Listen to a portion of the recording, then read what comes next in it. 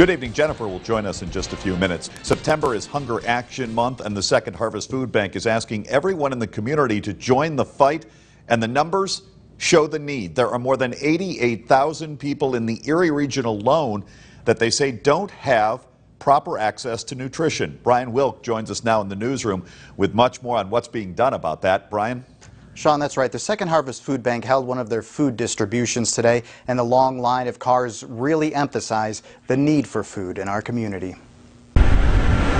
Hunger Action Month kicks off with the aim of fighting hunger.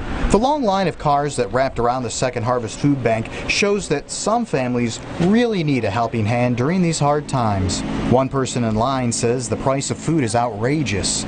Oh, it's very helpful. I'm sure somebody with a real large family would really appreciate it. Second Harvest is used to seeing long lines.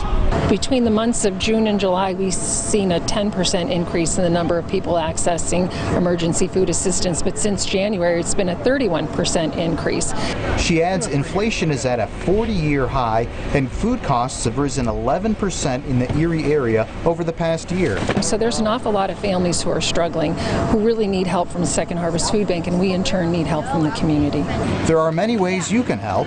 We're asking people to either host a food drive or make a monetary contribution or volunteer your time.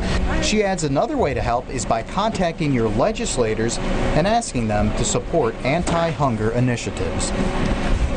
And since 2015, the Wolf administration has increased funding for hunger and food access programs by more than $80 million.